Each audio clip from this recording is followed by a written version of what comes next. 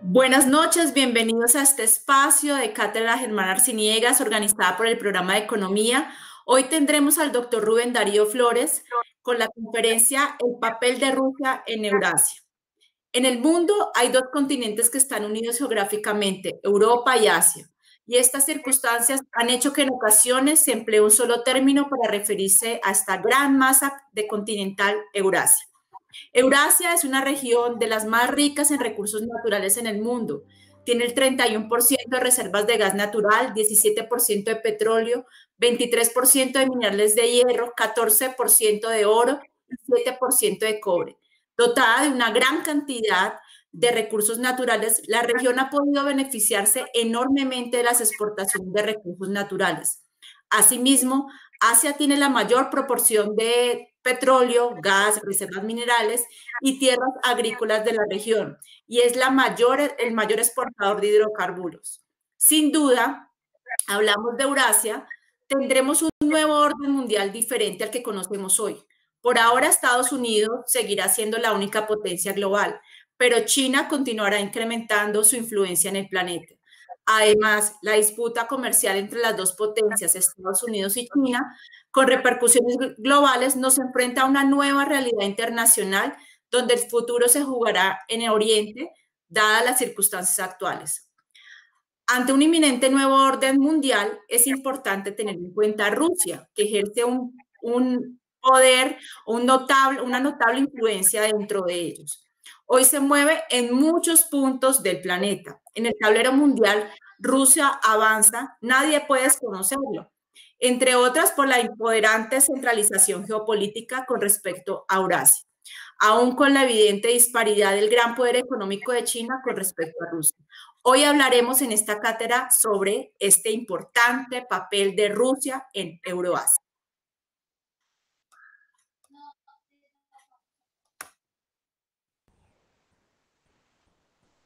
Buenas tardes para todos. Eh, muchas gracias, doctora Alejandra, por, esta interesante introducción. Eh, para nosotros es un gusto el, día de hoy eh, presentar al doctor Rubén Darío Flores. él es filólogo, lingüista, es profesor de la Universidad Nacional. Actualmente se desempeña también como presidente del Instituto Cultural León Tolstoy y también digamos que tiene una importante trayectoria diplomática. Él fue ministro consejero de la Embajada de Colombia en la Federación de Rusia durante el periodo 2012 a 2017. Eh, esta, digamos, labor fue ampliamente reconocida no solo en Colombia, sino en, la propia Rusia y recibió directamente de las manos del presidente eh, la orden Druzhba, eh, es en español algo así como la orden de, la amistad. Eh, recientemente, eh, dentro de sus publicaciones, podemos destacar dos libros muy interesantes, La moneda de Bizancio y también hace prácticamente tres meses la publicación Entre osos y dragones, donde él participó de una manera activa como coautor. Bien, ¿Por qué es interesante este tema de Rusia? Pues la, doctora Alejandra ya nos habló de unas cosas interesantes dentro de su introducción. También es importante tener en cuenta que Rusia es el país más grande del mundo, es el, país con la, la, extensión territorial más grande, tiene alrededor de 17 millones de kilómetros cuadrados, eso significa que es más o menos 15 veces el tamaño de Colombia, por ejemplo. También es una región, un país rico en, recursos naturales. Eh, dentro de estos recursos se destacan mucho el tema del petróleo y del gas. Dentro de las cifras que, nosotros tenemos, eh, por ejemplo, de, todo el gas que se consume en Europa, el 25% de ese gas es ruso. Y además hay algunos eh, estados, algunas naciones que dependen 100% del gas de esta economía. Y por el lado del petróleo, de todo el petróleo que se consume en Europa, tenemos más o menos que también entre un 25-30% viene de, de, Rusia. Eh, está ubicado en una posición bastante interesante y que al mismo tiempo le genera un alto riesgo geopolítico. Pero entonces, de todos estos temas, eh, nos va a hablar de una manera mucho más detallada eh, el doctor Rubén Darío, a quien le damos nuevamente la bienvenida y muchas gracias por acompañarnos el día de hoy. Buenas tardes. Mm, para mí es un gusto estar en la Universidad Nueva Granada, una universidad que en la constelación de centros docentes de educación superior en Bogotá tiene un papel muy importante en la formación de profesionales de gran calidad técnica, profesional, humana. Entonces a mí me complace mucho la invitación que me ha extendido la profesora Alejandra Fonseca Guzmán, directora del programa de Economía, así como la eh, invitación también a realizar esta conferencia con el profesor José Fernando Cárdenas García, un destacado economista bogotano. También para mí es muy placentero poder eh, compartir con las estudiantes, con los estudiantes, mi experiencia, mi juicio y mi conocimiento sobre lo que es un sistema eh, económico, un sistema internacional, un sistema de relaciones muy complejas, un sistema de relaciones diplomáticas, geopolíticas, eh, culturales, cuáles son las que se establecen en el territorio de Eurasia. A mí me correspondió desempeñarme como ministro consejero del Estado colombiano, de la Cancillería colombiana, en la Federación de Rusia en años muy importantes. Creo que tuve esa suerte. Uno entra con una responsabilidad diplomática y puede, tal vez, a mí me correspondió la suerte de que coincidiera mi periodo como diplomático del 2012 al 2017 con procesos que fortalecieron, que acentuaron el protagonismo de esta nueva Asia, de esta Eurasia que emerge, como ya lo han señalado mis colegas, la profesora Alejandra Fonseca, el profesor José Fernando Cárdenas, emergen primero como actores en el dinámico, en el, por así decirlo, geoestratégico y al mismo tiempo diplomático mundo de la influencia global desde su posición geográfica, desde el manejo de sus recursos naturales y de la proyección de sus economías. Entonces tuve la suerte entre 2012 y 2017 ver eh, casi que emerger una importante organización económica, diplomática, eh, política, comercial, como es la Unión Económica Eurasiática, de la cual hablaré en su momento. También tuve la, la suerte de asistir algunos de esos eventos en los que se reunieron eh, figuras muy destacadas como el Foro Económico de San Petersburgo. Es también una institución económica eh, que surgió o ha, venido acompañando el fortalecimiento de la estabilidad política de Rusia, lo cual le, imprimió un uh, impulso al liderazgo de su uh, primera figura política. Estuve como delegado de Colombia en el Foro Económico de San Petersburgo del año 2014 y también participé en eventos eh, diplomáticos que tenían que ver con el eh, cada vez más creciente eh, estrechamiento de los lazos económicos, de los lazos estratégicos entre el presidente de la China y entre la, entre la República Popular de China y la Federación de Rusia. Me correspondió también el uh, ser testigo de la creciente, uh, el creciente ascenso de la relación comercial a pesar de las distintas ópticas políticas entre eh, la República Federal Alemana y, la, y la Federación de Rusia por la relación de cercanía que tienen tanto el presidente Putin como la canciller Angela Merkel. Entonces tuve esa enorme suerte de estar en, presentando a Colombia, presentando la imagen positiva de Colombia.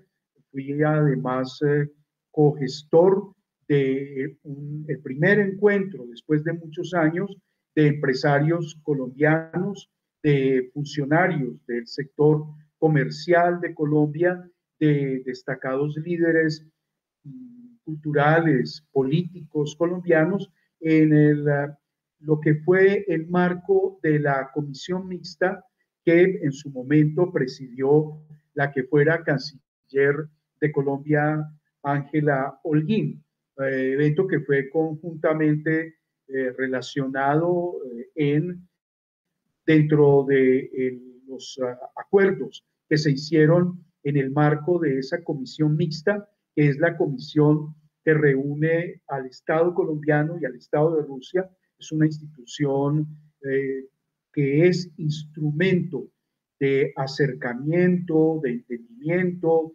de, que permite como marco eh, político y diplomático estatal impulsar las relaciones comerciales. Se hizo una muy eh, fecunda, eh, muy fecundo encuentro en la Cámara de Comercio de Moscú. En ese momento, como ya les dije, la canciller era la doctora María Ángela Holguín y el embajador en curso en aquel momento. Entonces, quiero decir con esto que tengo un conocimiento de primera mano en el nivel político, estatal, es decir, no les voy a hablar de oídas, sino como testigo de estos hechos a los que voy a referirme ahora, hechos que tienen que ver con la creciente, el creciente protagonismo de un universo desconocido para nosotros los colombianos, que es Eurasia, y un espacio histórico un espacio de civilizaciones, un eh, sistema geográfico, vale decir, una unidad geográfica, política, que concierne a una realidad geopolítica, cuál es el lugar de Rusia en Eurasia, por cuanto eh, Rusia, la Federación de Rusia, ocupa eh, una tercera parte de lo que es el espacio eurasiático. ¿Qué quiero hacer como preguntas primeras? ¿Por qué Rusia es tan citada en las comunicaciones periodísticas, que son un nivel de conocimiento de, un país o de más allá de las fronteras de un país? ¿Por qué Rusia es siempre citada cuando se hablan de los temas europeos. Porque Rusia es motivo de referencia cuando de una manera un tanto estereotipada eh, pensamos el mundo un poco con las ópticas de los años 60 y 70, las ópticas de la Guerra Fría. ¿Por qué Rusia es mencionada cuando se habla de lo que transcurre en Siria y por qué recientemente se asocia a Rusia con Turquía. Es decir, en el discurso político, en el discurso de las noticias y en el discurso de la economía o en las preguntas que se hacen los analistas y los digámoslo así, ciudadanos y ciudadanas que tienen una curiosidad por el mundo exterior, que piensan en un horizonte más amplio de las relaciones internacionales de Colombia, porque consideran que es de verdad una afirmación realista, las economías las relaciones académicas, las relaciones culturales, el lugar de un país en el sistema de la economía global y de la economía regional, en gran medida está, digámoslo, concierne, para no decir depende,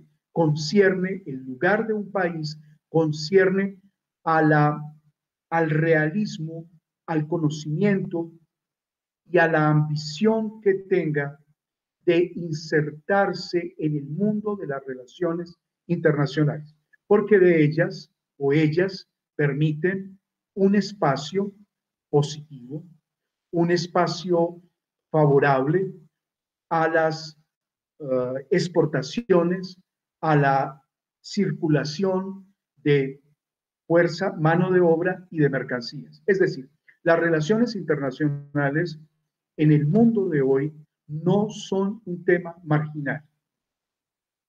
Las relaciones, el conocimiento, la conceptualización, uh, la información genuina sobre lo que acontece allende, más allá de las fronteras de un país, permite construir una, un protagonismo de altura para un país cualquiera que sea.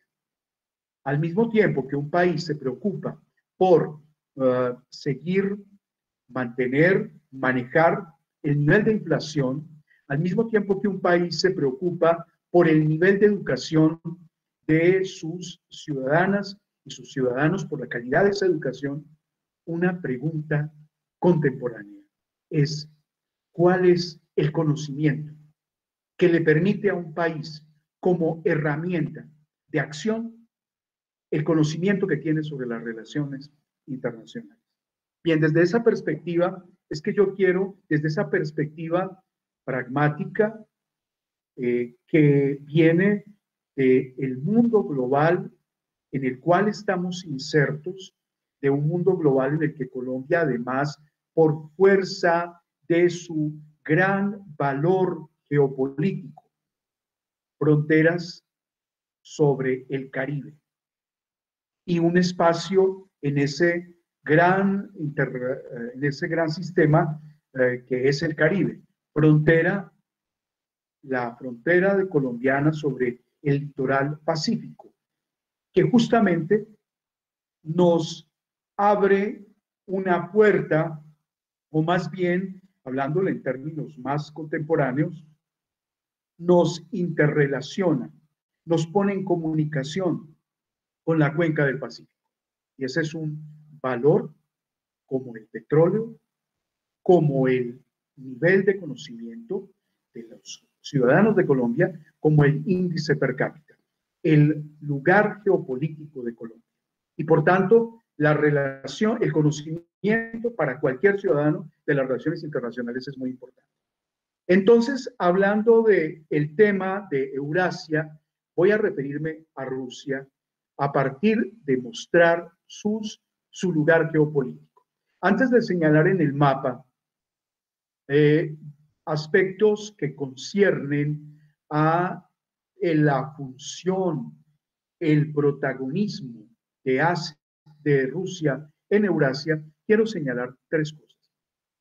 Cuando se habla de Rusia, para los especialistas, hay un término que proviene del siglo XIX. Ese término se llama el gran juego. El gran juego fue un término acuñado por un cónsul inglés que estaba, eh, que trabajaba en eh, Afganistán. mostremos el mapa, por favor, José Antonio. Mostremos el mapa. Hay otro término que es el pivote de la el pivote de la historia mundial. Ese término se asocia con Eurasia, específicamente con Rusia.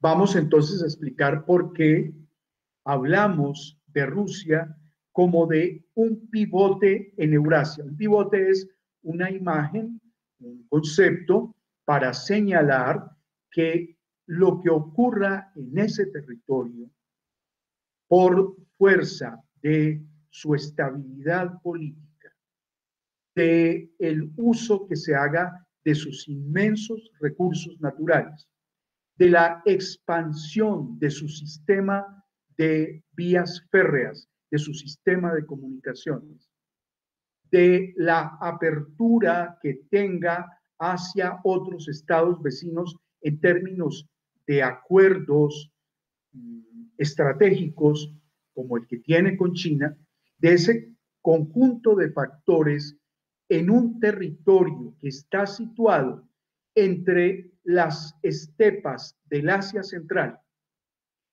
mm, que se extiende hacia los vastos espacios de bosques en Siberia, que hacia el sur eh, toca a través de la península de Crimea el Mar Negro y de allí del Mar Negro hacia el Mar Egeo por el uh, estrecho que es el estrecho entre eh, la, la ciudad de Estambul y la parte europea de Estambul, porque es ese estrecho que, al cual se llega por el mar, el mar Negro, por, eh, a través de las vías marítimas. Entonces, eh, José Antonio, podemos ampliar el mapa para mostrarlo e ilustrar aspectos que revelan la condición de la geografía para un Estado impulsar sus políticas, impulsar su influencia y establecer nexos con otros estados. ¿Estamos viendo el mapa ahora o no? ¿Se puede ampliar un poco más? Que ocupe toda la pantalla. Yo puedo apagar mi cámara para que ocupe toda la pantalla. Bueno, entonces, bueno, entonces yo lo que quiero saber es si las personas asistentes tienen eh, una visión clara, lo pueden ver al mapa. Entonces, ah, miremos las condiciones geográficas de Rusia. De un lado, ustedes pueden ver una extensa frontera con la China. Después, entre la China y la China ha sido un estado con una civilización de más de 5.000 años, han sido vecinos eh, desde como estados desde el siglo XVI. La experiencia de intercambios diplomáticos, de intercambios de personas, de personalidades, entre China y Rusia viene desde el siglo, como dije, data desde el siglo XVII. Pueden ustedes imaginar entonces el grado de conocimiento mutuo en términos de mentalidades, en términos de ambiciones políticas, en términos de conocimiento de la, de la psicología del pueblo. Eso significa un saber muy importante para el establecimiento de las relaciones entre estos dos grandes países eh, antes el, eh, el, reino de Rusia, antes de Pedro I, en el siglo XVII, después el imperio ruso, al finalizar el periodo del reinado de Pedro I, después la Unión Soviética, mm, fueron vecinos y amigos durante el emperador Nicolás II, el último emperador de la dinastía Romanov y en la Unión Soviética fueron aliados hasta que ocurrió eh, el desencuentro entre Stalin y Mao. Y a partir de Yeltsin eh, hubo, una, mm, hubo un paulatino acercamiento en temas a los que voy a referirme ahora, entre China y Rusia. Entonces, aquí ustedes pueden ver cómo la política exterior de Rusia la autoconciencia. Esto es muy importante. La conciencia que tiene el país de su frontera, en el caso estoy señalando la extensa frontera con China, que son cerca de 4.000 kilómetros cuadrados. Eso permite, perdón, eso permite unas, una racionalidad sobre el uso y manejo de esa relación.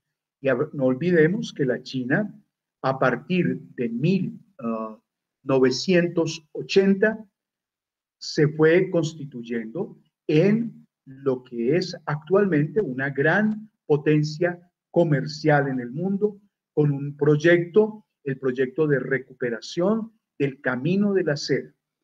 Si ustedes ven acá Kazajstán en eh, color un poco malva, Kazajstán es un país que tiene una relación de, vieja data, con, no, no lo suspendamos todavía, con Rusia. Kazajstán es, fue una república de la Unión Soviética. La Unión Soviética tuvo un núcleo eh, político, un núcleo um, ideológico, un núcleo comercial que fue Rusia en su momento. Kazajstán ahora es un aliado muy importante de Rusia eh, por cuanto el presidente de Nursultán Nazarbayev, Nursultán Nazarbayev, es una, eh, podemos decirlo así, un aliado político de Rusia, del actual presidente Putin. Kazajstán está entre los primeros 15 países exportadores de petróleo, o sea, es una potencia de medio rango en el ah, conjunto de países productores de petróleo. Pasemos ustedes, miren por favor, entonces quiero señalar aquí un punto. Todo este espacio, Kazajstán, China, la frontera norte de la China, la frontera sur oriental de Rusia con Kazajstán, un país que tiene dos millones y medio de kilómetros cuadrados. Estos dos países constituyen uno de los núcleos de Eurasia. Esto significa, Eurasia es también un, un concepto, un concepto de civilización, es decir, la cercanía de mentalidades, la eh, interdependencia en términos políticos, muchos asuntos, muchos asuntos de eh, conflictos en fronteras, de estabilidad política, tienen que ver con la estabilidad que haya entre ambos estados. Vale decir, la estabilidad parte de la frontera en el sur de Rusia con Kazajstán depende de la estabilidad política en este país. Es cierto, hay un, tema muy actual para China, son los ugur, que están muy cerca de la frontera con Rusia. Ese tema de una minoría, el tema de la estabilidad política también depende en ambas fronteras de la estabilidad, es decir, la estabilidad política en una frontera o su inestabilidad influye sobre la otra frontera. Y estamos hablando de un Estado, primero la China, un Estado en el cual las estructuras del Estado son muy poderosas. No podemos aplicarle los criterios de Francia, por ejemplo, no, porque es otra mentalidad, es otra tradición cultural, es otra tradición histórica. Eso llamamos entonces Eurasia crea una familiaridad por la convivencia a través de los siglos de estos estados. hay otro elemento muy importante y es que Rusia ha funcionado como una suerte de tapón a las invasiones que vinieron en el siglo XVI, en el siglo XV, desde las estepas del Asia Central, vinieron de, ah, por el estado a caballo, se llama estado a caballo, al estado del Genghis Khan. El Genghis Khan tenía el más poderoso ejército sobre a caballo. Fueron los inventores de el estribo y el estribo en su momento fue una tecnología de punta que permitió que las hordas del Genghis Khan avanzaran desde Asia Central, llegaran hasta Rusia y en Rusia fueran, fueron detenidas en las luchas con los príncipes rusos. Este es un factor muy importante, porque quiere decir que el poderío político y el poderío comercial que se expanden desde estos territorios tienen acá un lugar de tensión, un lugar de crecimiento que va a influir ya sea sobre el territorio de China o sobre el territorio de Rusia. Vamos entonces a la siguiente frontera. Ya mostramos entonces cómo Rusia tiene esta frontera. Si vamos más arriba, Rusia tiene la un mar, el mar se llama el mar de la China y su extremo es Vladivostok. Vladivostok está más cerca a tres horas de Pekín y a cerca de dos horas de Tokio. Está a ocho horas Vladivostok, una ciudad rusa en el extremo oriente ruso, está más cerca de la capital de la China, más cerca de la capital del Japón que de la capital de Rusia. Entonces, la influencia como Estado y como cultura de Rusia va hasta estos eh, límites. Voy a poner un ejemplo, por favor. Él me puede mostrar el primer eh, cuadro de 1.46. Eh, José Antonio.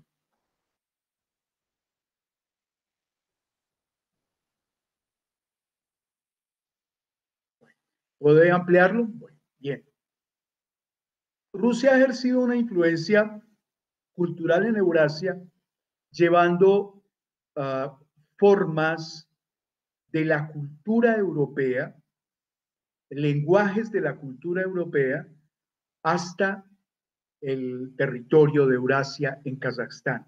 Este teatro, del cual están muy orgullosos, es una obra monumental es el teatro de ópera y ballet que se hizo un poco siguiendo el modelo del, teatro Bolshoi.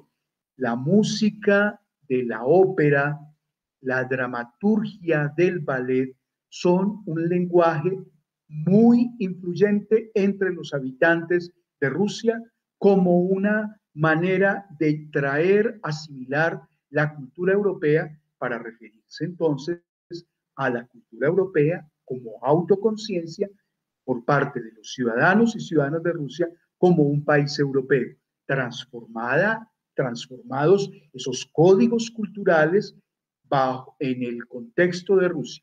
Rusia lleva esa expansión cultural un poco a la medida del idioma español que viene del Mediterráneo y llega a Colombia.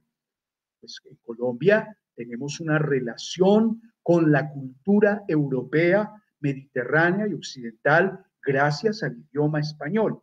De la misma manera, el lenguaje de la ópera y el ballet llega a las estepas de Asia Central hasta Kazajstán, ah, como, teniendo como vehículo este lenguaje. Podemos mostrar el segundo, la segunda imagen. José Antonio, por favor.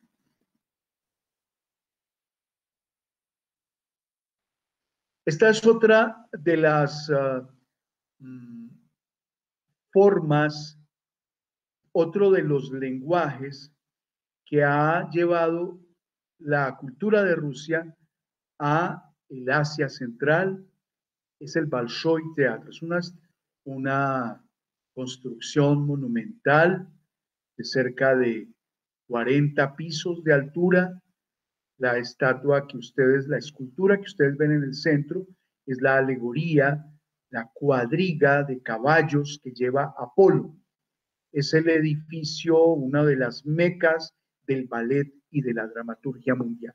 Entonces hay que ver también el papel de, Rusia en Eurasia como un vehículo de influencia cultural que va hasta, ya lo acabo de señalar, hasta, hasta Kazajstán, que es un país al cual ya me he referido en el Asia Central. Rusia tiene, pongamos el mapa, Rusia tiene fronteras para ver su papel en Asia Central. Vamos al Asia Central. Entonces, si ustedes observan, entre ese, esa especie de caballito marino que es el Mar Negro, donde está la península de Crimea, que es el, ah, la franja más al sur de la, la extensión, la línea limítrofe más, que bien que lo ampliaste. Otro poquito más, el favor, de ampliación, Kazajstán, hacia, poco más hacia la izquierda. Voy a mirarlo acá, un momento. El mapa lo, lo puede disminuir un poco, José Antonio. ¿Puede ocupar el mapa toda la pantalla para que yo lo pueda ver en la pantalla o no es posible? En mi pantalla, quiero decir.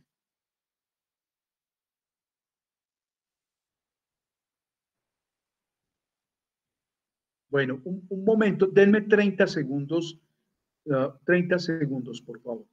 30 segundos para mostrar entonces cómo eh, Rusia tiene fronteras con el Asia Central. El Asia Central es eh, desde el siglo XIX un lugar que ha sido mm, zona de disputa, zona de eh, influencia, primero en el siglo XIX del Imperio Británico, uh, el, porque el Asia Central con los países de Tadjikistán, Turkmenistán y Kirguisia, Kirguistán, esos seis países, Uzbekistán, Kirguistán, Tayikistán, Turkmenistán y Kazajstán, son países que son puerta de entrada primero a la India, puerta de entrada a la India. Era muy importante para el imperio británico.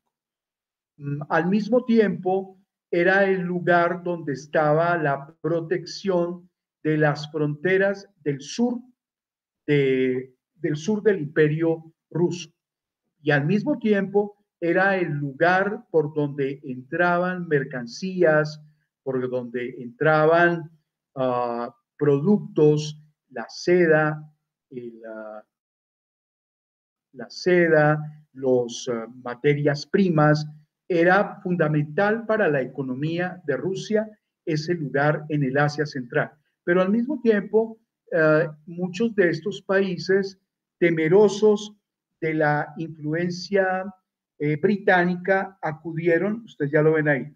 Miren ustedes, la, junto al Mar Negro, que también se llama el Mar Caspio, abajo de la frontera de Kazajstán, ustedes ven tres ah, bandas que son tres países, rosado, amarillo y más rojo, eh, está Turkmenia, Uzbekistán y Kirguisia.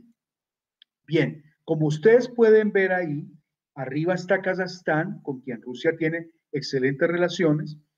Estos cinco o seis países son la puerta de entrada a Irán para Rusia por las alianzas que tiene con Turkmenia, por el lugar que tiene Rusia en la península de Crimea, ¿verdad?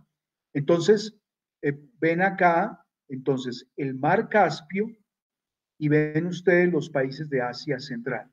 Esto muestra el lugar de Rusia en Eurasia. Para Rusia, esta zona es una zona de influencia política, de alianzas comerciales y de alianzas geopolíticas. Bien, Vamos entonces a la extremo occidental del mapa de Rusia. En el extremo occidental del mapa de Rusia, ustedes ven los límites con Finlandia. Es un país europeo.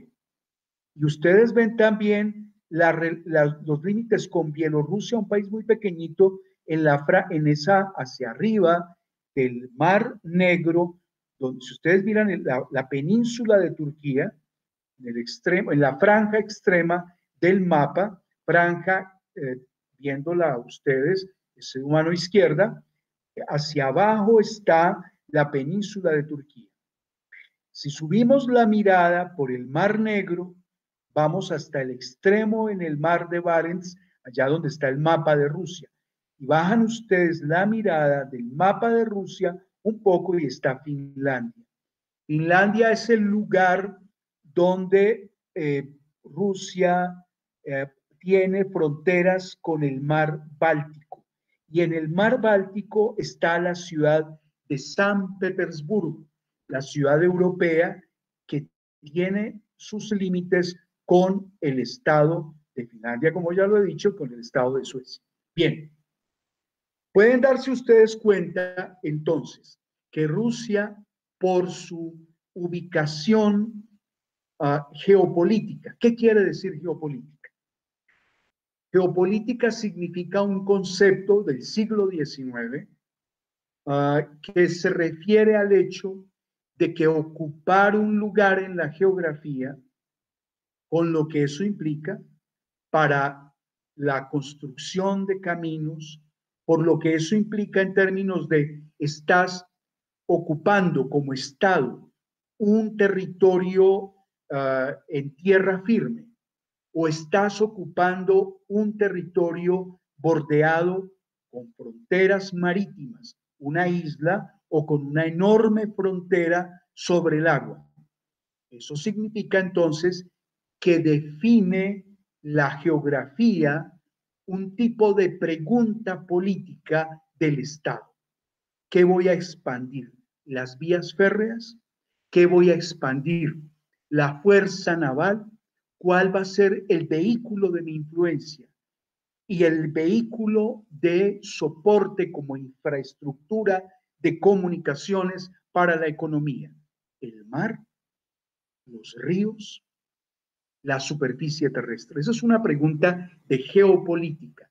El territorio pone condiciones o abre horizonte o propone un sentido al desarrollo político, al desarrollo económico del país. Cada estado lo define de una u otra manera. Unos no se hacen la pregunta, eso es un tema de desarrollo, o se hacen la pregunta eso, y la responden.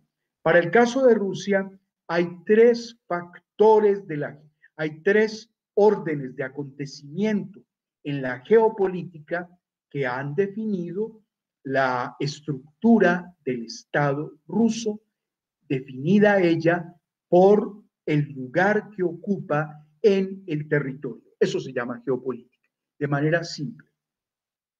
Geos, el lugar en la geografía, sea un territorio, uh, dicen potencias de la potencias sobre territorio, sobre áreas terrestres, potencia de superficies terrestres o potencia marítima.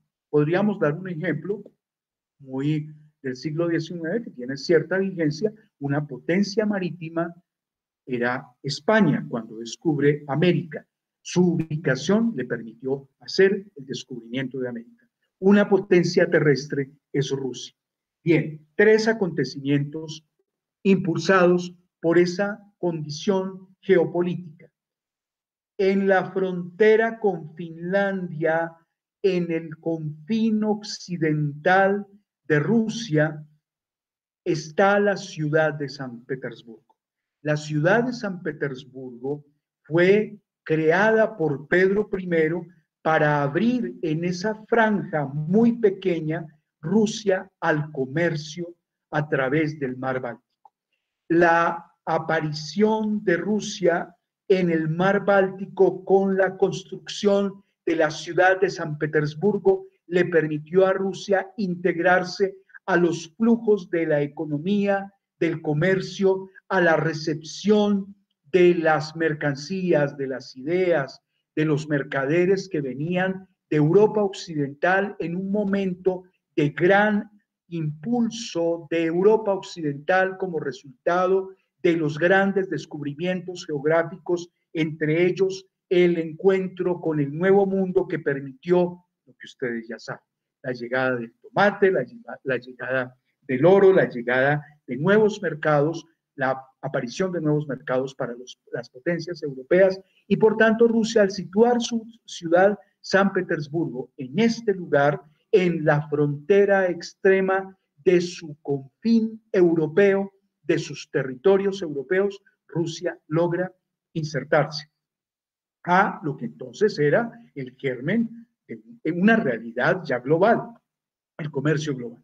Bien, eso nos da entonces otra medida del lugar geopolítico y de la influencia geoestratégica de Rusia. Sus gobernantes han concebido el territorio como un concepto y como una estrategia, como acabo de repetir.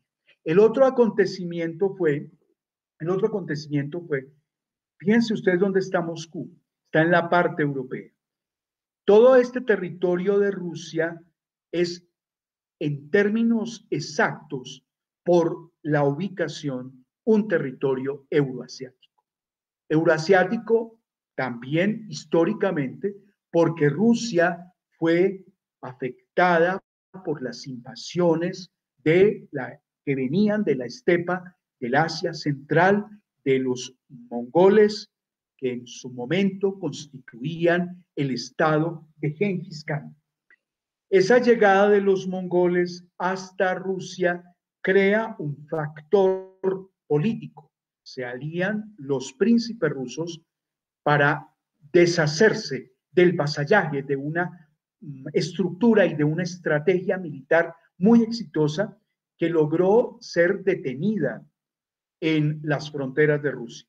Rusia entonces con ese acontecimiento en el cual vivió negativamente su geopolítica porque desde el Asia Central, desde Mongolia, que es una gran franja azul que está entre China y Rusia, y en borde con Kazajstán, esa, uh, ese extenso territorio que fue conquistado por los mongoles, que se enfrentó a los príncipes rusos, un factor negativo para el desarrollo de Rusia. Pero al mismo tiempo, al detenerse los, uh, las hordas mongolas en Rusia, impiden que lleguen a Europa y la invadan, como era la estrategia de Genghis Khan, que llegó hasta los bordes de lo que es hoy la ciudad de Viena. Hay en Viena una placa que muestra y señala hasta dónde pudo llegar el Genghis Khan, pero ya su eh, fuerza eh, política había sido agotada en el enfrentamiento con Rusia. El acontecimiento proviene del territorio dejo esa clara idea.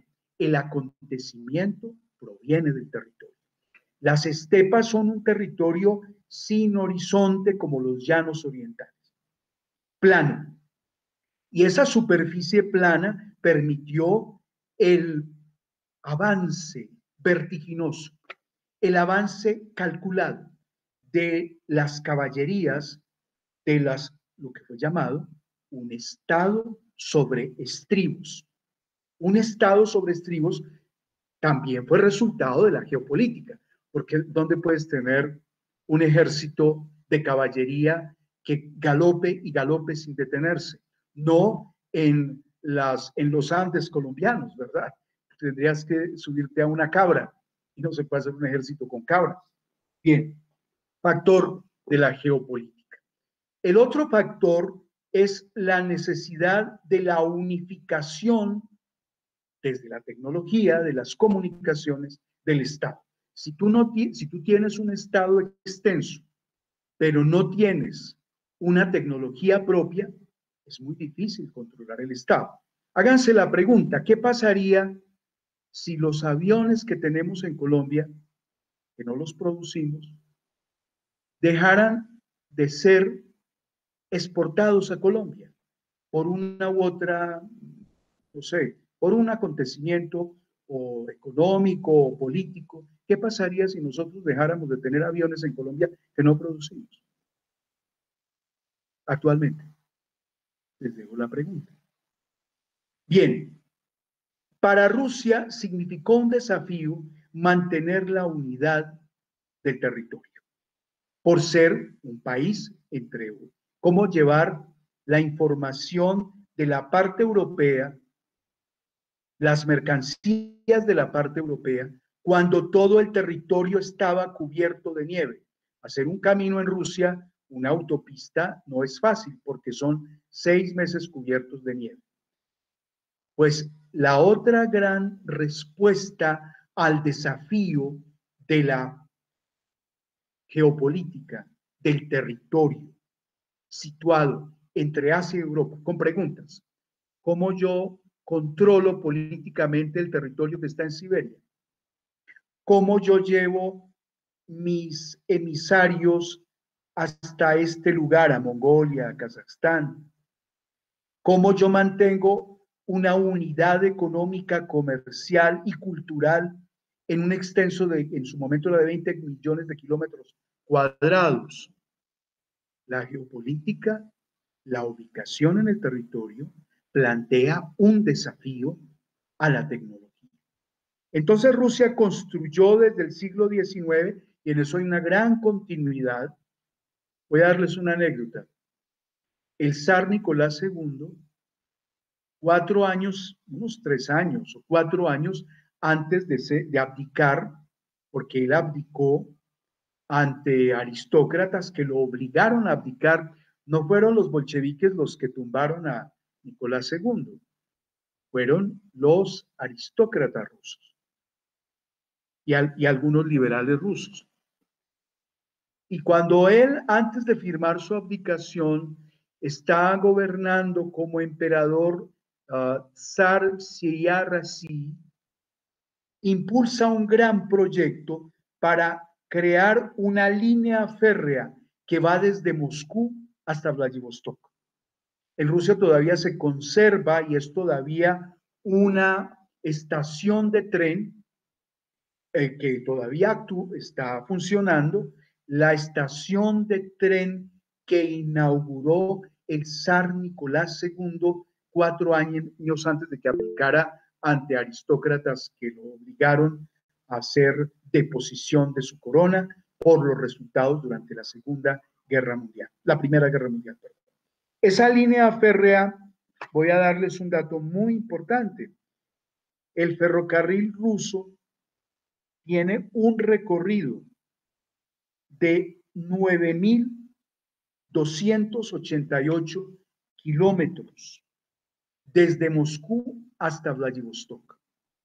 Es decir, la situación geoestratégica de Rusia lleva a responder a ese desafío para el Estado, para la colonización de sus propios espacios, para el mantenimiento de la unidad política, a desarrollar un tren como en todos los países desarrollados, incluso hasta en Irán o hasta en Argentina, donde el tren actualmente es un factor de desarrollo de la economía y de la soberanía del Estado.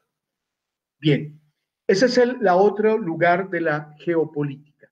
Voy a referirme ahora, ya con esto son los últimos 20 minutos de mi exposición. Eh, la Federación de Rusia actualmente hagan, voy a referirme a dos puntos específicos. ¿A cuáles instituciones, mm, cuáles instituciones económicas, cuáles instituciones transnacionales, el propio territorio de Rusia su relación con vecinos como Kazajstán, como uh, Bielorrusia, en la parte europea, de ese país pequeñito que está en azul turquesa, la relación de convivencia, de historia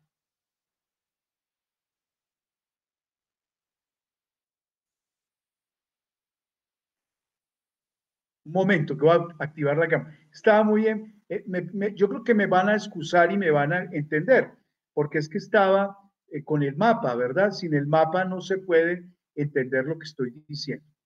Bien, entonces, la definición para, o mejor, el marco geopolítico y geoestratégico que da lugar Bueno, aquí volví. Volví. Ya podemos quitar el mapa. Bien. Muchas gracias. El mapa geopolítico, no, la realidad, la realidad geopolítica, cuya representación es un mapa. La realidad geopolítica cuya forma de entenderla es un mapa. Un mapa es una herramienta. Un mapa es un método de la política. Un mapa es una forma de la autoconciencia de un país, la comprensión de ese mapa, es decir, la comprensión del lugar de los pobladores en el territorio. Saber dónde está uno es en cierta manera poder actuar.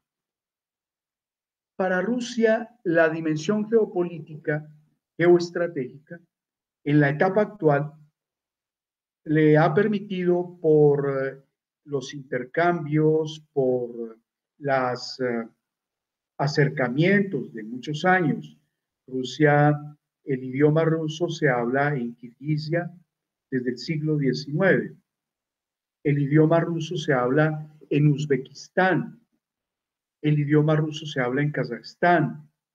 En Rusia, en San Petersburgo, hay una escuela de estudiosos de la cultura y de la mm, mentalidad de Kirguisia, de Tayikistán, de Uzbekistán, de Kazajstán. Hay una facultad de lenguas orientales muy importante, porque ese es otro aspecto. Para esos intercambios es necesario conocer el idioma y conocerlo muy bien.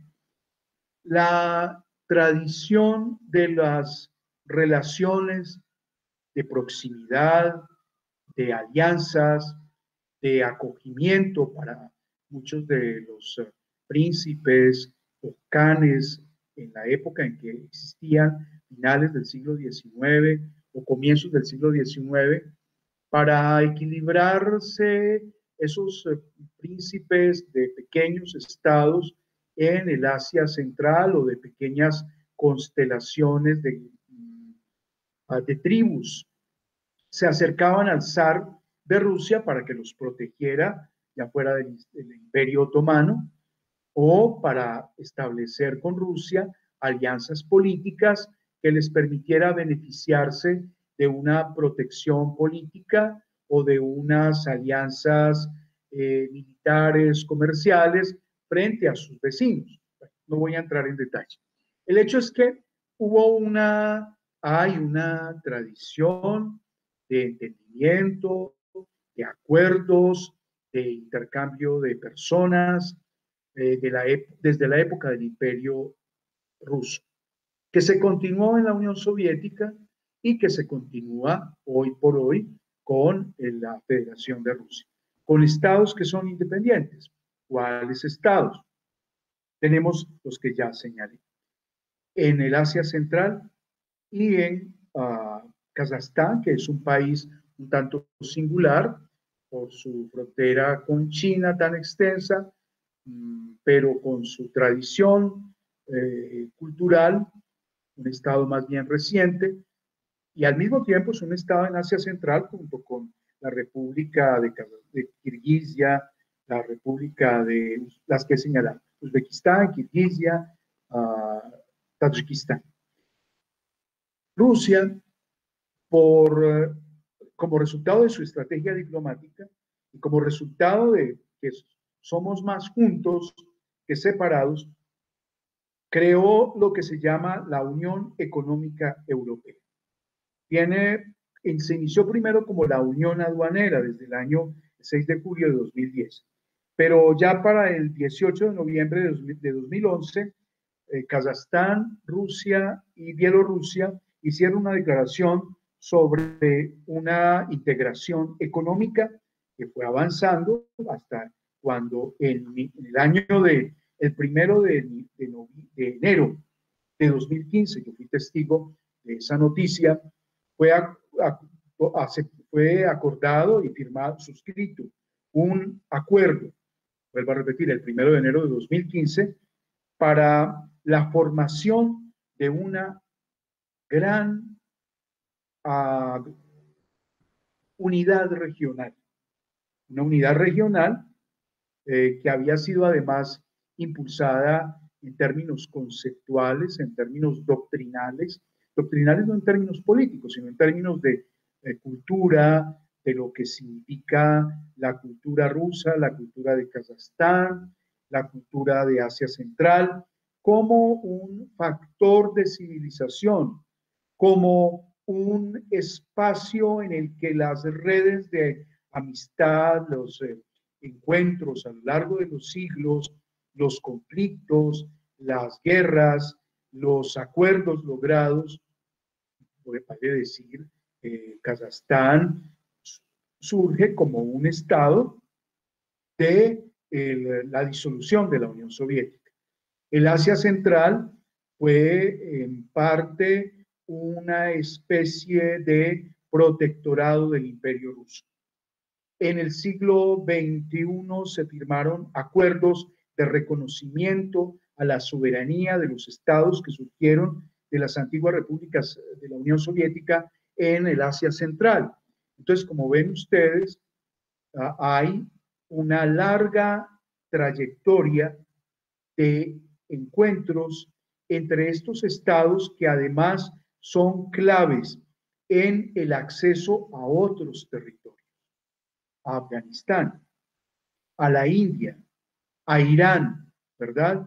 El Asia Central tiene relaciones muy estrechas con Irán, tiene relaciones muy estrechas con Turquía. Esas relaciones van en altibajo, en vaivén, en atención a los eh, el establecimiento de estados que ya sean más proclives a entenderse porque comparten una política exterior semejante o porque el avance de los eh, intercambios de personas y mercancías llevan a la necesidad de firmar acuerdos que regulen y que impulsen esas dinámicas de personas que viajan de un territorio a otro en búsqueda de trabajo, en búsqueda de educación. Entonces, para el 29 el primero de enero de 2015 yo entonces era eh, ministro consejero y también en, ausencia del embajador fui eh, encargado de negocios. Se firmó un gran acuerdo y ese gran acuerdo dio como resultado la creación de la Unión Económica Eurasiática.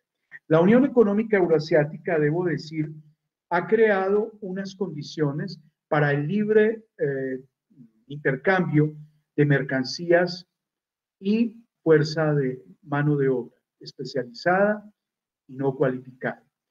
Para dar un ejemplo, de Kirguisia a Rusia, anualmente, no sé cómo está el dato ahora por la pandemia, había un desplazamiento de un millón de trabajadores.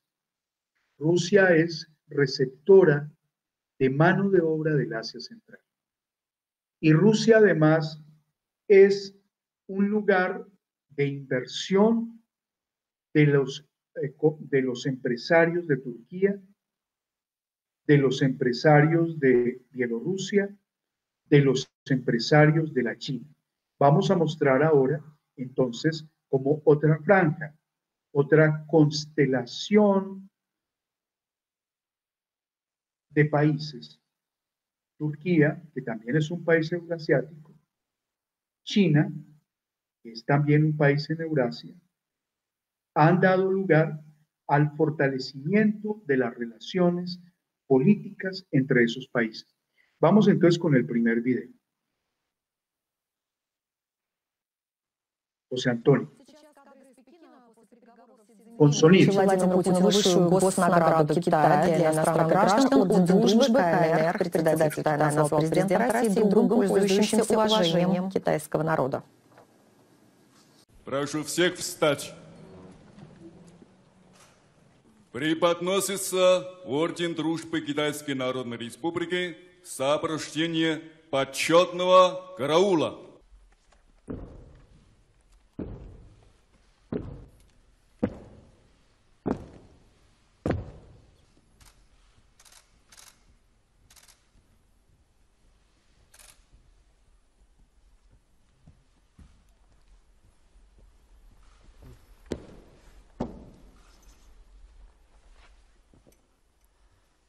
Председатель Си Цзиньпин вручает президенту Путину орден дружбы Китайской Народной Республики.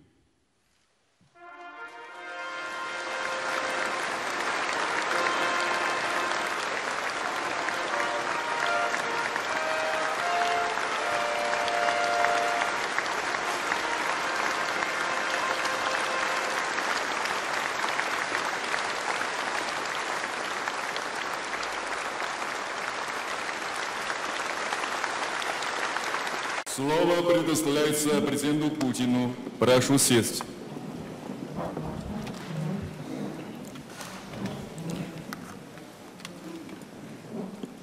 Уважаемый товарищ Цзиньпинь, дорогой друг, уважаемые коллеги, дамы и господа, друзья.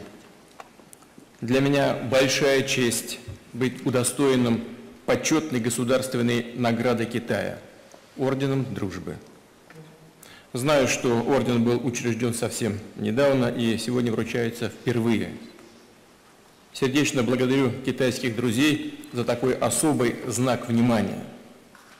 Рассматриваю это как признание и оценку российских усилий по развитию всеобъемлющего стратегического партнерства с Китаем. Мы, и я, и мои коллеги, признательны вам, уважаемый товарищ председатель, за сегодняшнюю церемонию. Мы видим не только, что делается, но и как это происходит. Это тоже знак особого внимания и уважения, в основе которого, безусловно, безусловно лежат наши общенациональные взаимные интересы, интересы наших народов и, конечно, наши с вами дружеские личные отношения. Podemos ya concluirla bien. Quería mostrar para este video, antes del siguiente, que va a mostrar al presidente Macron en San Petersburgo, en el Foro Económico de San Petersburgo. En este video, que se refiere a un acontecimiento que ocurrió hace mm, unos tres años, se condensa una eh, sistemática y consecuente estrategia de fortalecimiento diplomático impulsado hacia finales de la presidencia de Yeltsin y continuada por el señor actual presidente de la Federación de Rusia. Esa continuada ah, diplomacia de acercamiento dio como resultado en el 2000, cuando había sido recién nombrado el actual señor presidente de la Federación de Rusia, Vladimir Putin, a la, a la firma de un acuerdo de cooperación estratégica que ya tiene 20 años.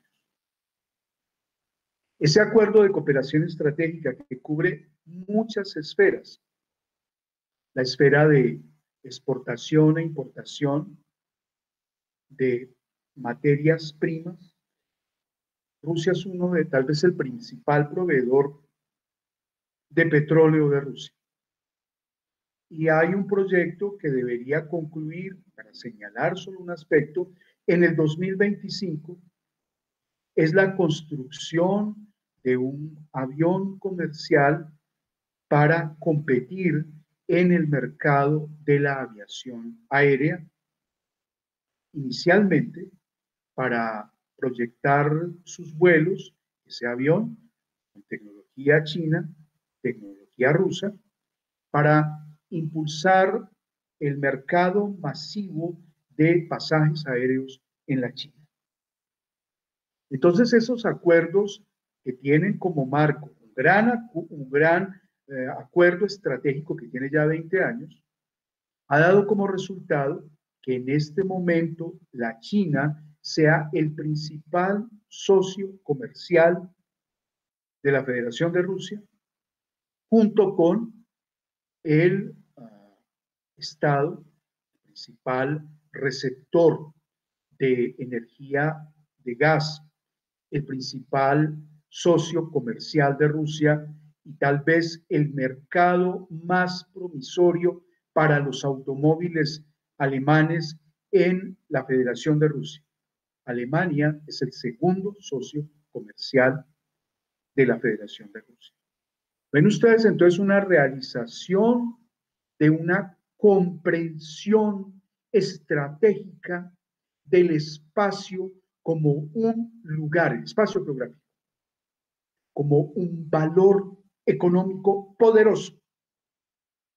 O sea, el espacio se negocia. Como un lugar que permite establecer alianzas, las que estamos viendo. Rusia entonces eh, ha logrado, y en eso se, eh, se puede decir, de, hablando desde las disciplinas en las que yo he estudiado, yo he estudiado, yo soy lingüista, conozco perfectamente la lingüística en el área eslava, mis lenguas de trabajo son el ruso y el idioma francés.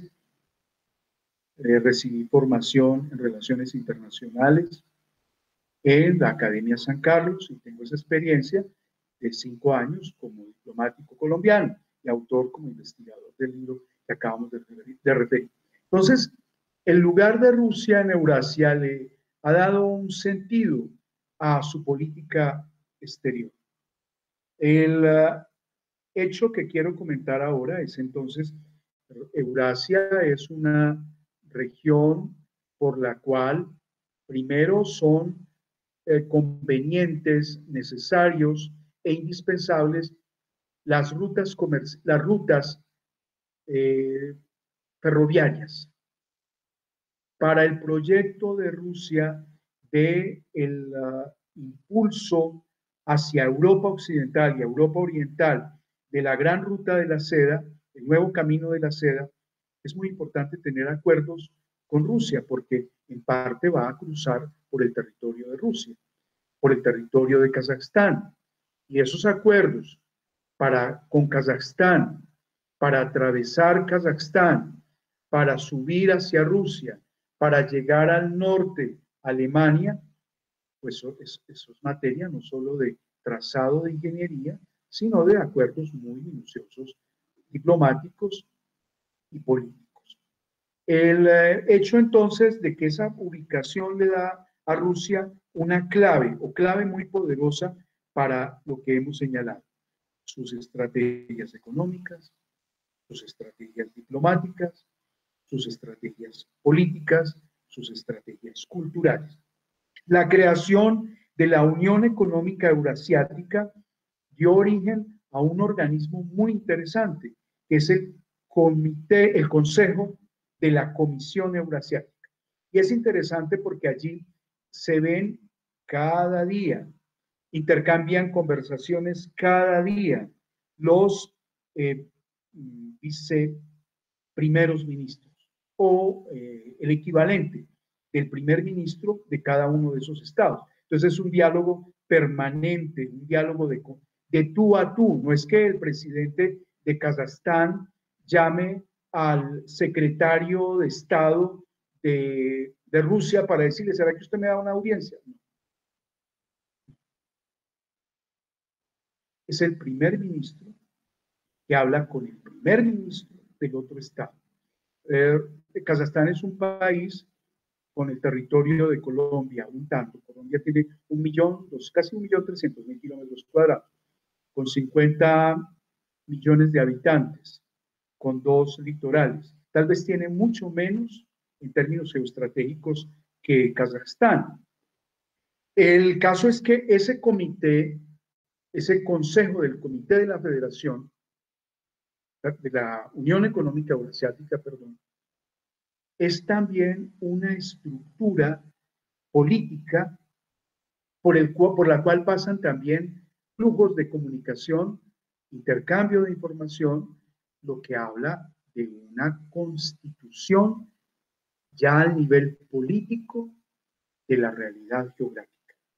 Bien, pero está también Eurasia, Europa. Miremos el segundo video, por favor.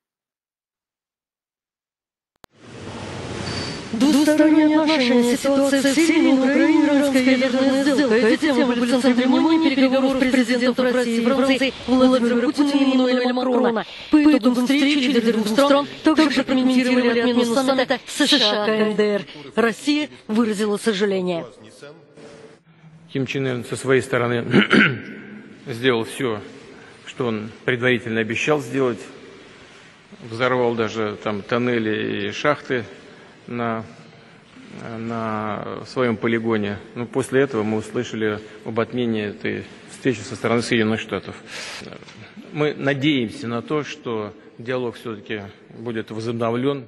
В свою очередь президент Франции заявил, я бы хотел, чтобы случившееся событие стало эпизодом в процессе, который должен продолжаться. Мы знаем его конечную цель, которая согласуется с международными задачами. Достижение этой цели необходимо для региона. Говоря непосредственно о решении Трампа отменить встречу с Ким Чен Ыном, Макрон сказал, что у него нет объяснений.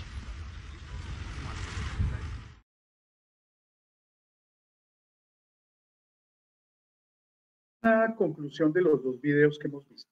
En el video anterior, eh, en la imagen, la sucesión de imágenes muestra la conclusión de un proceso que había arrancado hace 20 años. Y allí el presidente de Rusia, en el Palacio de la China del presidente Xi Jinping, recibe la mayor condecoración, la Orden Druzhba, que otorga el Estado de la China a uno de sus amigos más cercanos. Esa orden es uh, un momento que sella diplomáticamente, simbólicamente, un proceso de muy animados y sistemáticos encuentros, 19 encuentros. Ha tenido el presidente Putin, ya sea en Moscú, o el presidente Xi Jinping en China con Putin. El primer acto oficial del presidente de la China antes de viajar a la a Europa Occidental, luego de que fuera ratificado como primera figura política del Estado de la República Popular China, fue visitar a, se detuvo su avión para visitar al presidente Putin. Bien, con Francia. Francia es uno de los interlocutores, tal vez el, al lado del presidente, de, la, canciller mm, Angela Merkel, el interlocutor más destacado del presidente Putin. Las relaciones con Francia son unas relaciones eh, en las cuales desde la independencia de cada uno de ellos, por ejemplo, el punto de vista de China sobre lo que ocurre con Ucrania es un punto de vista neutral. Eso no impide que tengan unos acercamientos muy estrechos. Es decir, no es una relación de subordinado patrón. Yo hago lo que dice el patrón, no. No, es una relación política, la del presidente de Francia con la del presidente de Rusia. En el evento que ustedes ven allí está el presidente Macron, está reunido con el presidente Putin en un foro que también es una evidencia de la política económica de Rusia como proyección y promoción de su territorio, de su mercado, de sus consumidores, de su uh, doctrina, de, su doctrina, de su comprensión de los asuntos en Siria, por ejemplo, de su comprensión del mercado eh, del trigo, de su comprensión del mercado, su rol protagónico en el mercado del petróleo. Rusia está entre los tres primeros productores de petróleo del mundo, así como Colombia en América Latina estará, exceptuando el vecino, estará entre los primeros cuatro productores de petróleo. Esa es una carta que no es solo de materia prima, sino que se juega, no solo se juega como un, una oferta en el mercado, sino que se juega como una carta política, así como se juega como una carta política el lugar geopolítico del país. San Petersburgo, por estar en el Báltico en un nudo de intercambios comerciales por la, admiración que genera su arquitectura creada por los zares. Es una ciudad extraordinaria, es un gran escenario para mostrar, y allí estaba el presidente Macron con su esposa, eso hace cerca de un año largo, y allí se presentan inversionistas y es un lugar en el cual se ofrece espacio para intercambios comerciales, para intercambios ah, políticos, para conocer de primera mano las noticias, palpar el pulso de los acontecimientos, este tipo de foros en el que los protagonistas, eh, yo recuerdo cuando estuve en ese foro de San Petersburgo en el año 2014, 2013-2014, estaban grandes, eh, uno de los ex secretarios de Hacienda del gobierno inglés estaba allí. Estaban autoridades de la prensa económica europeas, inversionistas japoneses, banqueros japoneses, banqueros de Indonesia. Entonces, ese espacio de Eurasia es también un lugar en el que el diálogo político muy intenso, a pesar de las diferencias, el diálogo político de tú a tú, de igual a igual, entre estados como Kirguisia, por ejemplo. Kirguisia es un interlocutor, un par del presidente de Rusia. Y para terminar esta exposición, mm, voy a presentar el último video que señala un aspecto muy importante del espacio eurasiático, el espacio de la influencia en los mares y el espacio de, digamos, de creencias religiosas. Eurasia es el lugar donde está por número de fieles más expandida la religión cristiana ortodoxa. Eh, Rusia tiene 120 eh, millones de habitantes. Es un espacio, un estado multireligioso. Cristianos ortodoxos, cristianos católicos, cristianos eh, de Armenia, cristianos budistas, uh, musulmanes. Hay dos, 20 millones de musulmanes en el territorio de Rusia. Yo estuve como católico, mm, iba al servicio religioso en español en la Catedral Católica de la Concepción de nuestra, de la Virgen, la Concepción Inmaculada de la Virgen María, así se llama la catedral.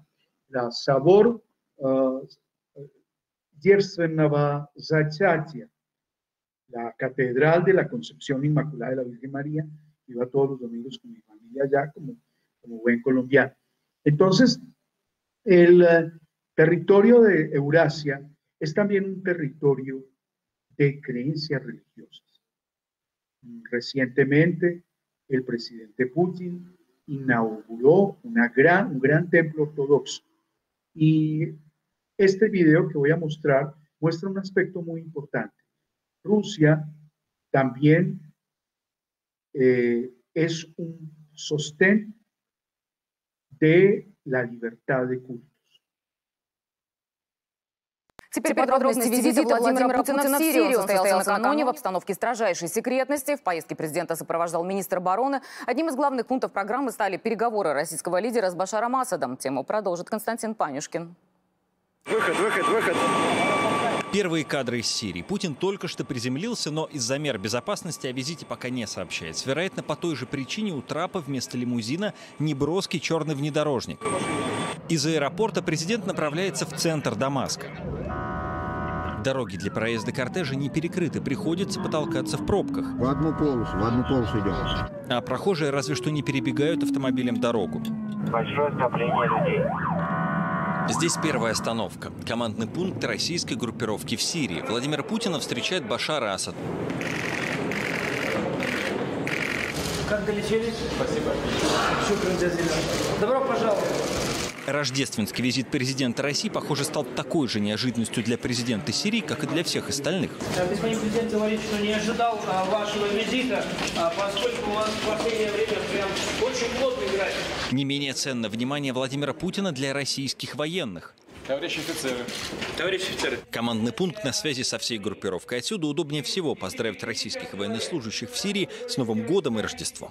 Благодарю командование и личный состав российской группировки войск Сирийской Арабской Республики за добросовестное исполнение своего воинского долга. Россия, ваши близкие гордятся вами, желают вам всего самого доброго. Хочу еще раз подчеркнуть, что здесь Сирии вы решаете задачи не только помощи сирийскому народу в освобождении от террористических формирований БА. Здесь, в Сирии, вы защищаете свой родной дом. Желаю вам мужества, успехов, здоровья. Благодарю вас за. Я поздравляю вас и в вашем лице всех военнослужащих на территории Сирии со священным праздником Рождества Христова. Эти кадры, снятые днем накануне, мы показываем только теперь, когда их опубликовал Кремль. Из-за секретности журналистов в Дамаск не взяли. И потому в кадре периодически можно увидеть, как пресс-секретарь президента Дмитрий Песков берет на себя еще и роль звукоинженера, держит микрофон. И на командном пункте, и на двусторонних российско-сирийских переговорах, где Путин делился с Асадом впечатлениями от своего визита в Дамаск. Вот что меня порадовало, когда ехали сейчас по Дамаску. Жизнь зарождается, ведь можно сказать так. Я посмотрел много транспорта на улицах, магазины работают активно, там всякие кафе, рестораны. Буквально два года назад в районе, в котором вы сейчас находитесь, на наши головы без остановки падали снаряды. А сегодня, когда вы приехали и увидели все собственными глазами, вам не нужна карта с военной обстановкой, потому что вы видите, как возвращается мирная жизнь. Это самый лучший показатель наших успехов. Я еще раз приветствую вас и благодарю за этот визит. Из армейского штаба Владимир Путин и Башар Асад уезжают на одном автомобиле. Кортеж проезжает мимо строек. В войну эти районы сравняли с землей теракты артиллерии. А это уже шумный центр. Путин и Асад заходят в Эмиятскую мечеть, одну из крупнейших в мире и самую большую в Дамаске. Здесь в саркофаге хранится часть нетленной главы Иоанна Крестителя. Президент прикоснулся к этой святыне, одинаково почитаемой у христиан и у мусульман. В гостевой книге Владимир Путин оставил запись и подарил Коран 17 века священнослужителям. Узкими улочками старого города президентский кортеж добрался и до старейшего православного храма Сирии – собора Святой Девы Марии. Добро пожаловать. Путин и Асад поставили свечи. Эти свечи ставим за мир в Сирии и просим упокоения душ всех погибших российских и сирийских военных. Собор Святой Девы Марии – резиденция патриарха Антиохийского и всего Востока Иоанна X. В подарок на Рождество Путин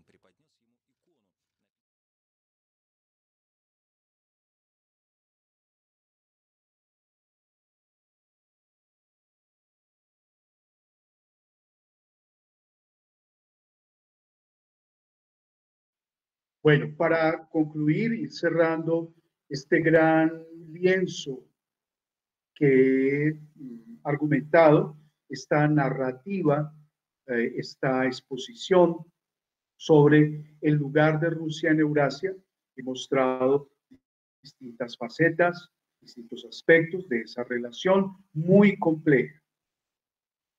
No yo espero que después de esta exposición no vamos a ver a a Rusia, como no nos pueden ver a nosotros a través de el horrendo estereotipo del narcotráfico, porque somos mucho más que eso, muchísimo más que eso.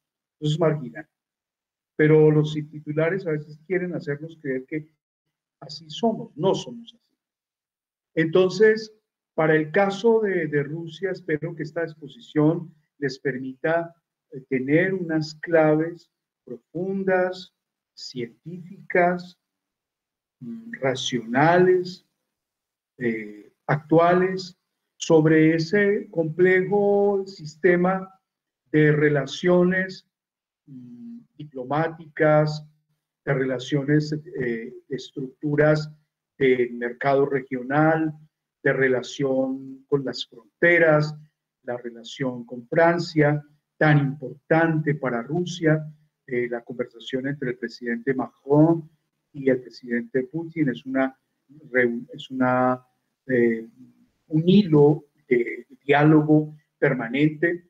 Eh, Rusia ha invitado a Francia para ser parte de negociaciones sobre el conflicto en Donbass, el conflicto donde se enfrentan eh, una especie de de grupos eh, armados ilegales de Ucrania y de Rusia.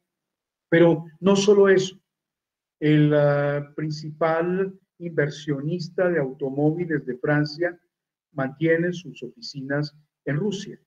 El número de estudiantes de Rusia, de Francia, de ruso, de idioma ruso en, en la Federación de Rusia es muy alto.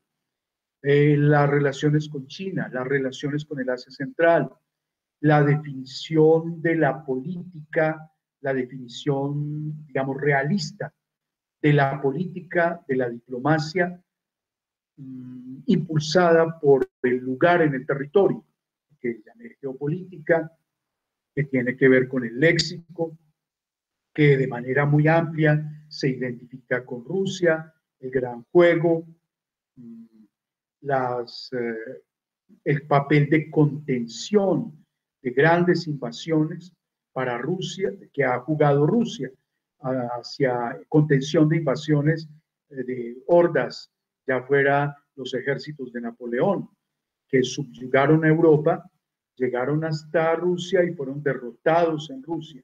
Eso impidió que Napoleón se convirtiera en un autócrata en los países europeos fue derrotado. Se fue la gran derrota que infringió la fuerza del zar al, Napoleón Bonaparte que había traicionado los ideales de la Revolución Francesa. Gracias al debilitamiento de Napoleón Bonaparte es que se debilitó también el gobierno monárquico en España en 1812. 1812 es el año clave para Colombia. 1800 para la independencia de Colombia. 1812 es el año en que el gran imperio de Napoleón se desmoronó por su derrota en Francia. Entonces Rusia ha jugado ese papel. Después, como lo decía el presidente eh, Roosevelt en 1940, señalaba que si nosotros vamos a ser derrotados por por, la, por las fuerzas del el eje Italia, Alemania, Japón, pues va el mundo a conocer una esclavitud. Ustedes saben muy bien que el ejército nazi, el ejército alemán nazi, fue derrotado en Stalingrado, fue derrotado en San Petersburgo y las tropas soviéticas llegaron hasta Berlín. Y fue por la información que recibió Hitler en su búnker. Estaban a 30 kilómetros del búnker, luego de que él había creado una racional máquina de muerte en los campos de concentración, 200.000, 300.000 judíos, franceses, gitanos, rusos, españoles, gaseados, convertidos en cenizas. Sus eh, pieles, el oro de sus dientes, sus pinturas, sus riquezas, saqueadas por los nazis en otro sistema modelo de racionalidad, de uso, de crimen. Pues gracias a la llegada de las fuerzas soviéticas a Berlín, al saberlo Hitler, eso están docenas de películas, Hitler se suicida. Eso impide que Alemania nazi se convierta en la tiranía sobre Europa occidental y por tanto una fuerza militar imposible casi de derrotar, como lo decía el presidente Roosevelt en su alocución. Entonces, en, la década del 40, finalizando la guerra. Eh, Rusia entonces juega un papel por, por todos los elementos que he referido. Señalé también, creo que lo olvidé, como uno de los principales, está en la liga de los grandes jugadores de exportadores de petróleo. Es un país estratégico para las comunicaciones, como lo señalé también con el transiberiano. Es un país Además, un gran, es, el primer país exportador de petróleo. Colombia en el año 2011, 2010, fue el principal proveedor de café para el mercado de Rusia. Es una lástima que siendo el café, el consumo del café, una materia, una bebida está de moda, que tiene cada vez más consumidores en, el, en Eurasia, en Rusia. El café es una palabra urbana en Moscú, en San Petersburgo. Es una, yo creo que es la palabra más popular. Es un lugar de encuentro de jóvenes, de gente profesional, de estudiantes. Yo me acuerdo una vez que estaba con mi familia en un, lugar que se llama así, café, y de pronto me llamó la atención, estábamos nosotros tomándonos el café, y hay un joven, seguramente un estudiante universitario, y había un retrato de Platón.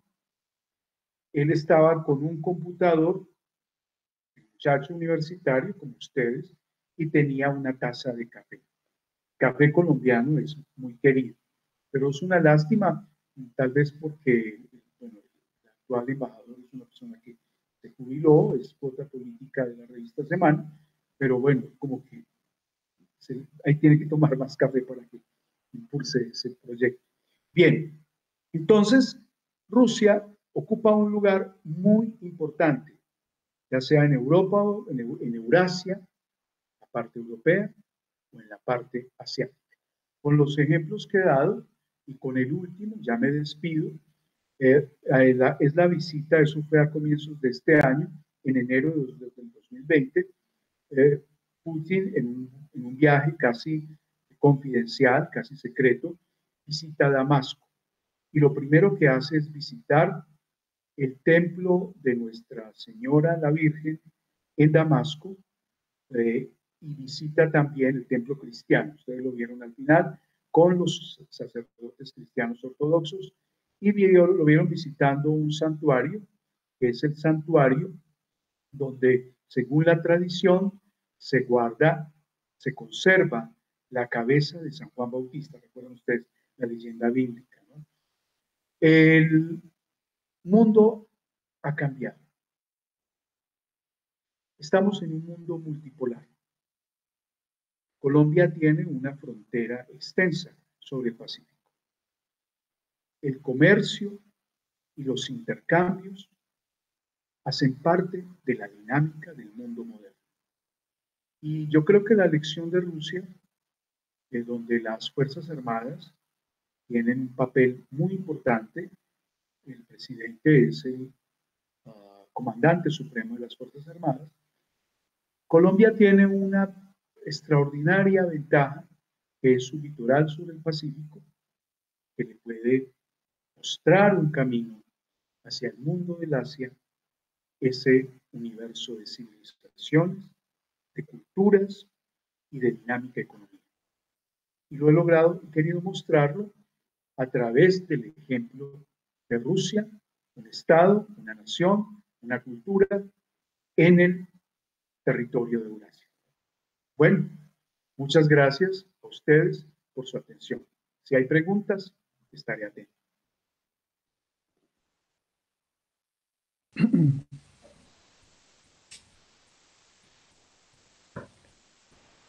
Bueno, eh, Rubén Darío, pues eh, nuevamente muchas gracias por, por esta interesante intervención, eh, por darnos también la, la, oportunidad de tener una mirada mucho más amplia de, de esta parte del mundo que pues a veces nosotros no le prestamos como la, la atención que yo creo que deberíamos de prestarle. Eh, aquí creo que todos hemos aprendido el día de hoy un poco más de, digamos, de este gran país que es Rusia, eh, desde el punto de vista político, desde el punto de vista económico, desde el punto de vista cultural, también desde el punto de vista religioso. Eh, y yo también le agregaría desde el punto de vista científico, recordando, por ejemplo, los aportes de, la tabla periódica, el primer hombre, la primera mujer, el primer ser vivo, este, la perra laica en el espacio, que eso promovió también grandes desarrollos eh, que han mejorado la calidad de vida de todos nosotros. Digamos que eso dentro de muchas otras cosas.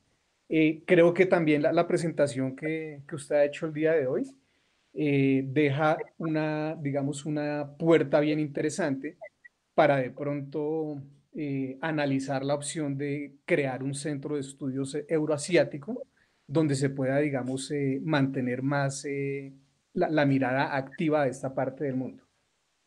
Y, digamos que también me gustaría que, que de pronto le comentara a, a, los estudiantes y a los profesores que están aquí conectados y que están de pronto interesados en profundizar un poco más del tema.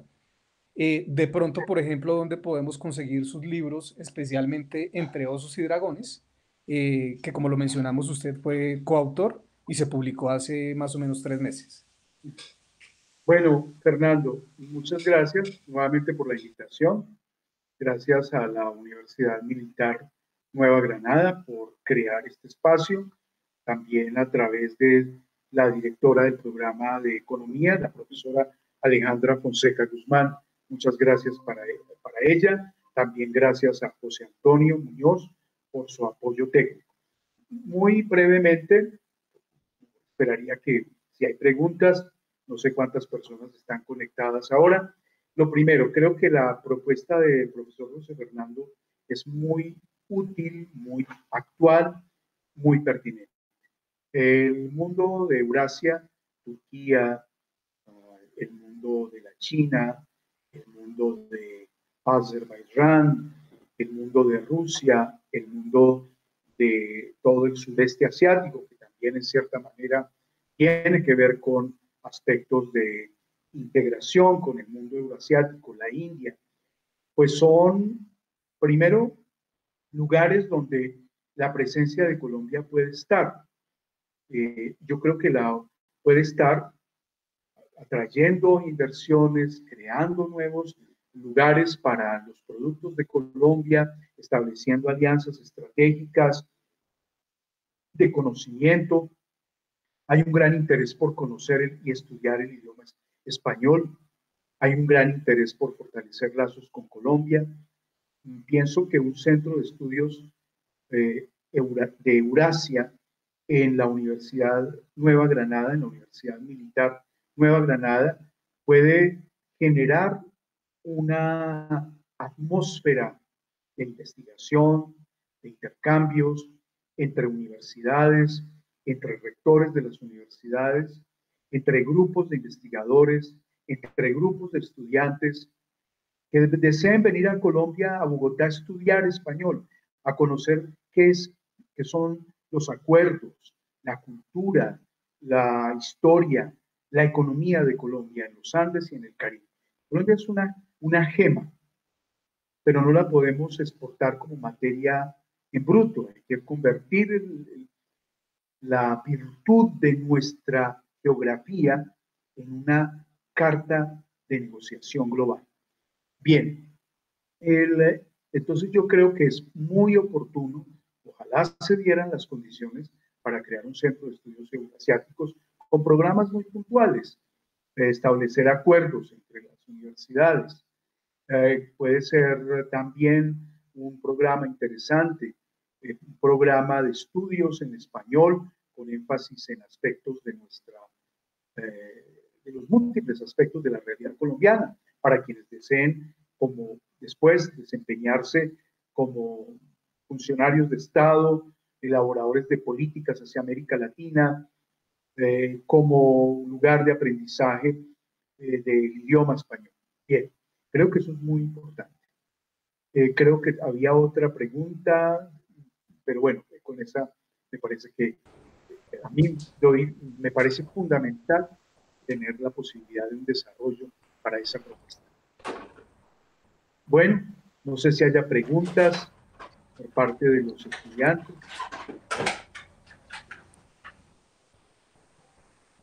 Pues hasta el momento no hay más preguntas, profesor Rubén Darío Flores, realmente agradecerle.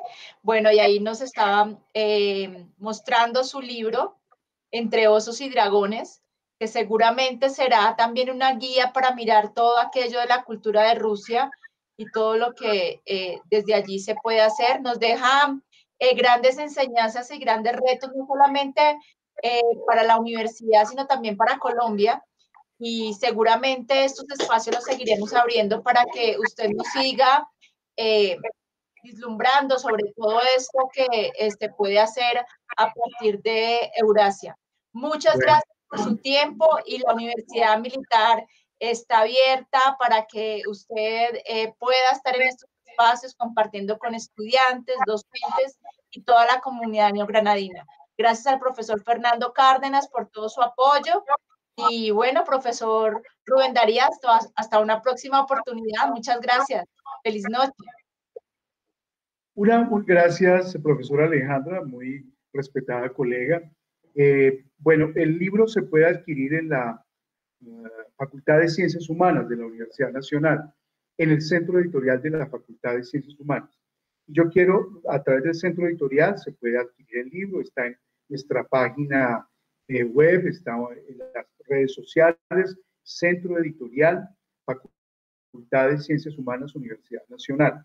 Yo quiero destacar el libro. El libro reúne investigaciones mm, de expertos colombianos en China, en Rusia, sobre cultura, sobre comercio, economía, medicina, mentalidades. Yo creo que para los estudiantes de economía, los estudiantes de ciencia política, los estudiantes de derecho, en general para las personas que quieran empresarios, para eh, directivas de la universidad, las personas que quieran entender el mundo en que estamos, esa es una fuente de consulta de primer nivel. Y también quiero, pues ya que me permiten, hacerle promoción a mi libro mi novela. Ha tenido, es una novela de aventura, es una novela de política, es una novela de suspenso. Ha tenido La moneda de Bizancio. Quienes la han leído, los comentarios en Canadá, en eh, Centroamérica, en Rusia, en Colombia, comentarios que han sido publicados realmente son muy positivos, lo que me complace a mí mucho. Así que yo espero que ojalá pueda adquirir ustedes en mi novela se pueden comunicar con José Fernando, quienes deseen adquirirla. Hay dos eh, versiones, una versión con dibujos de la artista colombiana conocida internacionalmente, María Dolores Sanabria. Eh, es una novela que va a darles una clave también del conflicto Oriente-Occidente, porque la escribí antes de que ocurriera la agudización del enfrentamiento entre Turquía y Occidente y un lugar de la novela transcurre en Bizancio, en lo que fuera la capital de Bizancio, que hoy es Estambul. Entonces, ahí adelanté un pronóstico, hice un pronóstico del conflicto que viene, pero todo eso transcurre en un suspenso de un colombiano que se llama Antonio Montenegro, que es el más grande experto en Bizancio del mundo de la novela, y que persigue una, una moneda, una moneda muy escasa, una moneda que tiene una inscripción que él desea revelar, pero ese de, codificación o esa búsqueda y descripción y desciframiento de la moneda va a llevar a él, a él a una aventura que lo va a poner en el camino de un amor, un amor apasionado, secretos y una conjura de la cual él no tenía ni idea. Se van a entretener mucho leyéndola y van a aprender mucho. Se la recomiendo. La moneda de Lisa. Muchas gracias, profesor. La de 100 ejemplares con autógrafo, entonces de dos modos, la novela de 100 ejemplares de colección y la corriente. Okay. Una invitación a toda nuestra comunidad neogranadina que adquiera sus libros y podamos a través de la lectura poder imaginarnos esa Rusia, esa China y todo esto lo que contempla. Muchas gracias, profesor, por este espacio. Realmente eh, aprendimos mucho sobre algunos temas geopolíticos, económicos, culturales de toda esta, de Rusia, de China y demás. Y bueno, esta sea una oportunidad para que vuelva a este espacio y pueda seguirnos recreando sobre esto.